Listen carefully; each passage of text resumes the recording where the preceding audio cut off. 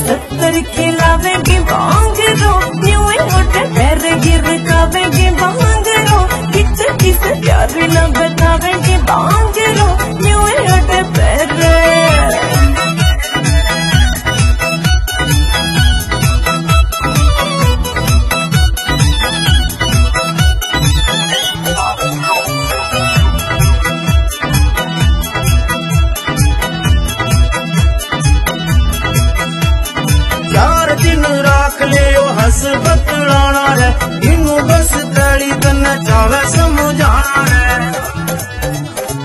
चार दिन राख लेओ हसबत राण